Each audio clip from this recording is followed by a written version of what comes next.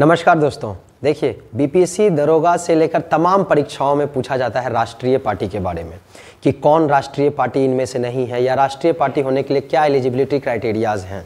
देखिए, और अभी भी करंट अफेयर में भी है तो अप्रैल 2023 में, यानी इसी साल 2023 में, तीन पार्टी, ममता बनर्जी की टीएमसी आप देख रहे हैं, तृणमूल कांग्रेस, डी राजा की CPI Communist Party of India और इनको तो पहचान ही रहे शरद पवार की नेशनल कांग्रेस पार्टी को से राष्ट्रीय पार्टी का दर्जा चुनाव आयोग ने छीन लिया। देखिए, हम आपको दो मिनट में समझा देते हैं कि राष्ट्रीय पार्टी कहते किसको किसको आखिर राष्ट्रीय पार्टी का दर्जा मिलता है। तो देखिए जरा सा, एक बार ध्यान दे तीन कंडीशन है दोस्तों राष्ट्रीय पार्टी होने के लिए, तीन कंडीशन राष्ट्रीय पार्टी होने के लिए तीन कंडीशन है। पहला कि तीनों में से कोई एक फुलफिल करना है, राष्ट्रीय पार्टी। राष्ट्रीय पार्टी को हिंदी में दल कहते हैं। तीनों में से कोई एक कंडीशन भी कोई पार्टी अगर फुलफिल करती है तो उस पार्टी को राष्ट्रीय पार्टी का दर्जा मिल जाता है। देखिए, पहला कंडीशन है कि चार राज्यों में अगर कोई पार्टी, चार राज्यों में अगर कोई पार्टी राज्य स्तर की पार्टी का दर्जा रखती है राज्य स्तरीय पार्टी है तो वह अपने आप राष्ट्रीय पार्टी का दर्जा उसे चुनाव आयोग दे देता है। दूसरा दूसरा, अगर किसी पार्टी को चार राज्यों में, चार राज्यों में या तो वह राज्य स्तरीय पार्टी हो, या चार राज्यों में रिसेंट जो भी लोकसभा और विधानसभा का चुनाव हुआ हो रिसेंट अभी अभी यानी रिसेंट लोकसभा और विधानसभा के चुनाव में, चार राज्यों में छह प्रतिशत वोट शेयर हो, वोट शेयर छह प्रतिशत वोट शेयर हो। एंड यहाँ तथा लिखा हुआ है। एंड कम से कम चार सांसद हो उसके। अलग अलग चार राज्यों से। चार सांसद, कौन से कई सांसद? लोकसभा के। लोकसभा के मेंबर ऑफ़ पार्लियामेंट हो। चार राज्यों में अलग अलग चार राज्यों में छह प्रतिशत का लोकसभा या विधानसभा किसी में वोट शेयर हो और साथ साथ इसके चार सांसद लोकसभा में हो। तीसरा दोस्तों, तीसरा कंडीशन क्या है? तीसरा कंडीशन है कि लोकसभा के चुनाव में तीन राज्य तीन राज्य या इससे ज़्यादा भी हो सकता है या अधिक लिख दिया हमने। यानी कम से कम तीन राज्य की बात करता है।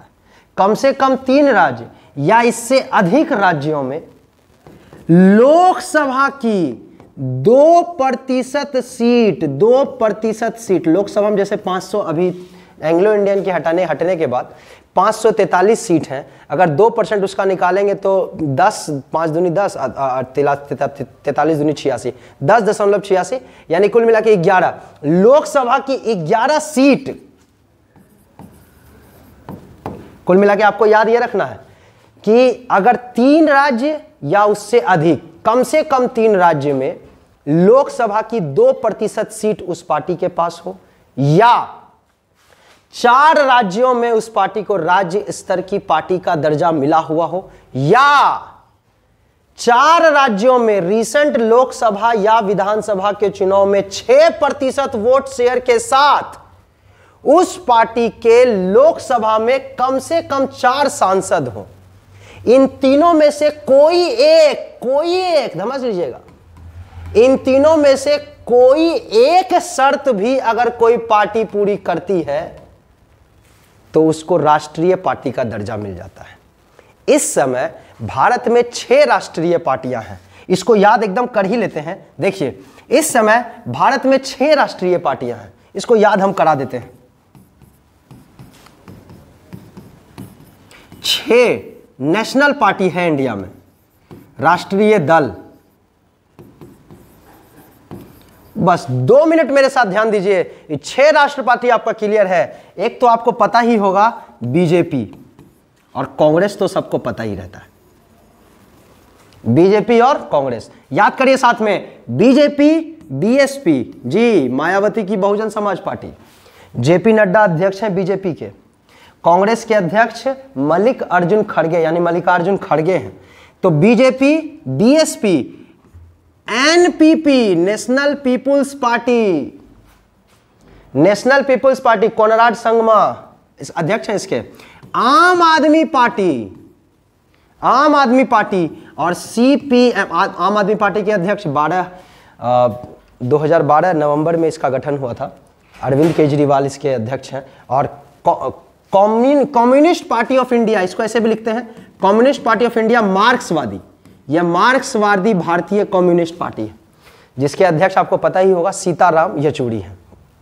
तो ये छह पार्टी अभी भारत में तत्काल राष्ट्रीय पार्टी का दर्जा है। देख लीजिए, भारत में जो पार्टी होती है ना, दो प्रकार की पार्टियाँ हैं। एक तो नेशनल पार्टी होगी और एक स्टेट पार्टी होगा, राज्य स्तर की पार्टी। छह पार्टी नेशनल पार्टी है और भारत में इस वक्त टोटल साठ पार्टी है। तो तुम सोच लो कि स्टेट पार्टी क्या होगा? चौवन। जिसमें आरजेडी, जेडीयू आप तमाम जानते हैं किसी दिन स्टेट पार्टी को भी हम आपको समझा देंगे। देखिए। अच्छा ये आपके सामने है, जो अभी भारत की राष्ट्रीय पार्टियाँ हैं। उनके अध्यक्ष, हाल ही में अरविंद केजरीवाल ने चार राज्यों में आपको हम समझाए अभी तुरंत पीछे। आप एकदम रिवीजन कीजिए इसको।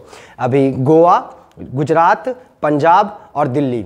में, आप समझ ही रहे हैं, इनको वोट शेयर है। तो अरविंद केजरीवाल की पार्टी, आम आदमी पार्टी। जेपी नड्डा, ये जेपी नड्डा है। जेपी नड्डा की party, Bharatiya Janata party. Bahujan Samaj party, Mayawati ji हैं। कम्युनिस्ट पार्टी ऑफ़ इंडिया ये मार्क्सवादी, इसके साथ मार्क्सवादी मार्कशीट लगा देंगे। सीपीएम है ये। सीपीआई तो डी राजा वाला उसको तो राष्ट्रीय पार्टी का दर्जा छीन लिया गया। ये सीताराम येचूरी और ये आप देख रहे हैं मल्लिकार्जुन खड़गे इंडियन नेशनल कांग्रेस और National People's Party Conrad Sangma आप यहाँ ये भी देख रहे होंगे कि centre right wing right left ये सब क्या है? Centre to left centre to right ये क्या है? किसी दिन इसको भी हम आपको समझा देंगे बहुत जल्दी। हम कोशिश करेंगे कि आप रेगुलर वीडियो आए दोस्तों। आपने मुझे देखा, मुझे सुना, इसके लिए बहुत बहुत धन्यवाद। कोशिश करते रहेंगे हम कि आपके लिए रेगुलर वीडियो आती रहे। धन्यवाद। जय हिंद।